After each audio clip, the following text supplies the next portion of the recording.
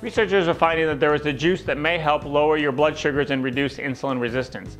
Now there are many other benefits to this fruit and the juice that comes from this fruit, as I've discussed before, and it's also why we use many similar fruits and berries to this one in our ProGrade longevity because of the antioxidant benefits that not only does this fruit and juice provide, as well as the other fruits and berries in this category.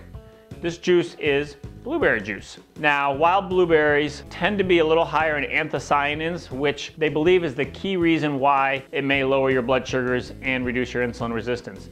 Though frozen blueberries, regular farmed blueberries are also beneficial, they just tend to not contain as many anthocyanins as the wild blueberries. So if you can find wild blueberries or wild blueberry juice, choose that first. If not, just choose frozen blueberries or farmed blueberries, and you're still gonna have benefit.